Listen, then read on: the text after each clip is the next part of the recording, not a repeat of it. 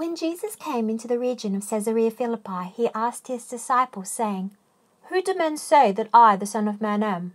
And they said, Some say John the Baptist, some Elijah, others Jeremiah or one of the prophets. He said unto them, But whom do you say that I am? And Simon Peter answered and said, You are the Christ, the Son of the living God.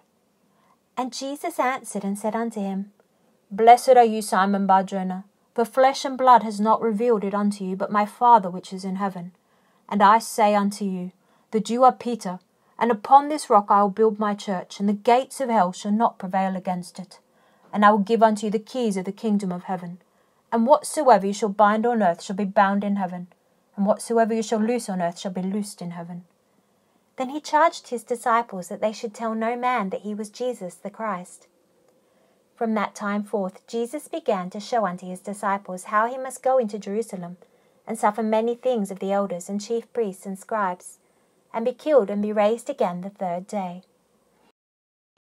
Then Peter took him and began to rebuke him, saying, Be it far from you, Lord, this shall not be unto you. But Jesus turned and said unto Peter, Get behind me, Satan. You are an offence unto me, for you savour not the things that be of God, but those that be of men. Then said Jesus unto his disciples, If any man will come after me, let him deny himself, and take up his cross, and follow me. For whosoever will save his life shall lose it, and whosoever will lose his life for my sake shall find it.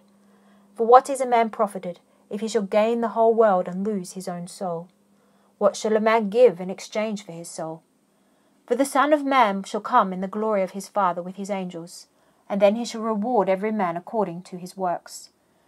Verily I say unto you, there be some standing here which shall not taste of death till they see the Son of Man coming in his kingdom.